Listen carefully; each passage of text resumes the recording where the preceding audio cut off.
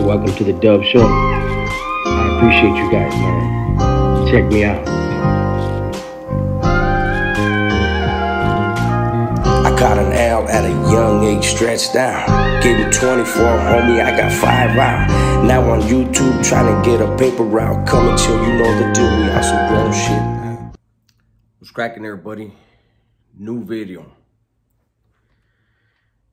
Today's video is gonna be a little serious, right? Um, I just got off the phone right now with um, somebody who's in the music industry, and uh, you know we were talking about a few things, and it had to all do with um, the issue with uh, King Little G and Conejo, okay? And I think it's important for people to understand that for those of you that aren't aware, you know, most most are, but for, for those that aren't, um, they both represent King Little G and Conejo. They represent um, they represent barrios that have been at war with each other for decades, right? And even though these two men are um, artists, um, they still carry their neighborhoods on their back, right? Um, they still have homies in the streets.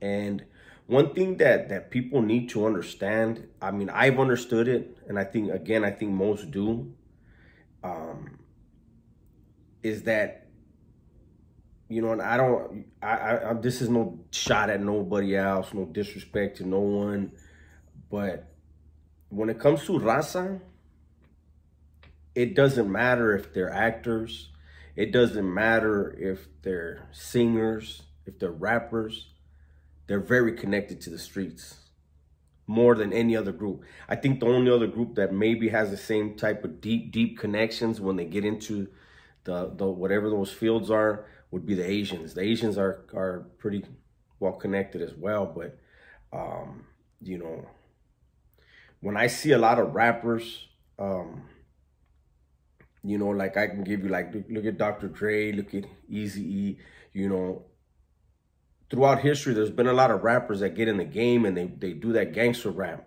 right? But they they grew up around the stuff. They weren't actually dudes that went to prison for putting in work. Whereas with the raza, you can you can guarantee nine out of ten of them that are rapping about it, they've done it.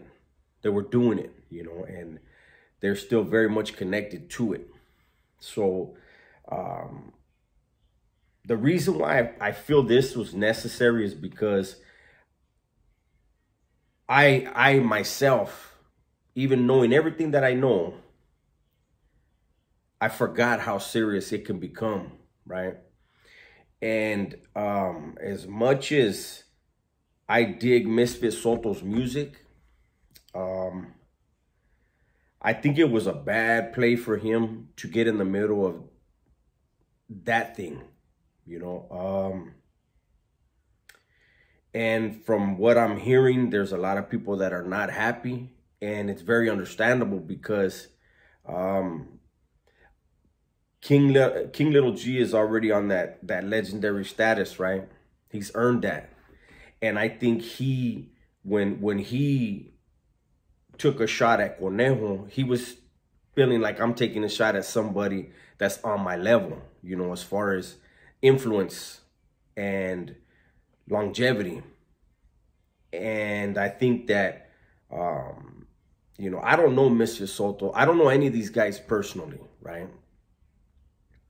But from the outside looking in and, and, and seeing the, the type of career that King Little G has and that Conejo has, you know, they're they're they're up there. You know what I'm saying? And then when you look at the the barrio rivalry, the history of it, they've lost a lot of people. There's been serious, serious bloodshed between those two neighborhoods and to keep it between those two and to keep it um, artistic, that would have been cool. But I think, you know, now now thinking about it and, and you know, having a conversation or two, um, there are people that are not happy with someone stepping in. And it's not a good look. Um, I'm hoping that um, this thing stays where it's at, man. And we get some really good music out of King Little G and, and Conejo because that's what they do. They put out great music, right? Um, I personally would hate to see it spill into the streets. Um, but in all actuality, there's there's no love. You know, there's a lot of animosity, a lot of hurt, you know, a lot of history between those two neighborhoods. Um, and something like this could just be that match, man, that that's that that touches that gasoline that's in them barrios, eh? And it, it would be a damn shame to lose our gente to a cemetery or a jail cell over a rap song. I mean, it's already happening. It's not happening at a level that it used to, but it it it quickly could, man. It quickly could. And you know, having somebody again, I don't have nothing against Misfit, but I'm just trying to be real here. I think this this video needs to come out. It needs to be said.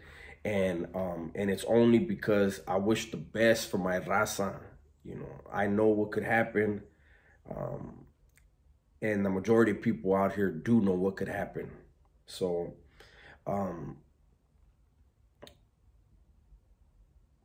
it ain't a joke, man. It ain't a game. And this goes back to why, you know, in the past I've said where it's it's always going to be hard for Raza to, um, you know, get into the mainstream of music and movies and television because of how quickly things can escalate because of the connections that Raza have. You know, you could, they, I mean, we all know there could be a, a, a, Mexicana that works at the courthouse, you know, and great job. She's got cousins. You know what I'm saying? She's, it's unfortunate, man, but it's the, it's the reality of being raza in America. And, um, and, you know, I've, I've, I don't I don't want to get, you know, you guys know me that been on the channel for a while. I, I can get lost in the weeds. The, the bottom line here is I'm hoping that this thing, the dust settles and, you know, let's let's see some good music out of out of the two kingpins, um, King Little G and Conejo, or let's just let it die. That's between them. You know, that's that's whatever they decide, but man, I hope it doesn't turn into nothing else. It doesn't need to be nothing else. And, you know, hopefully, you know, other people don't feel like, well, you know what, I'm going to jump in. That Vato Misfit jumped in. Well, let me put my two cents in because then when, when does it stop? Where does it stop? Let's get that money, man. You know, we all have an opportunity to get bread, man, and and and bring our, our people out of them barrios, you know, and let's go um let's go gentrify some of these white areas. Let's go, let's go have, let's go over there in, their areas and I want to have me some motherfucking white landscapers doing my lawn. Imagine that. But anyways, man, like I said, this is a serious thing. Um, those, those that know, know how serious things can get out here quick over nothing, especially when you have two neighborhoods as violent as those two neighborhoods are with the type of histories that they have. And uh, I wish everybody well, man. Everybody stay safe, stay smart. Tell the ones you love that you love them, right? I'm out.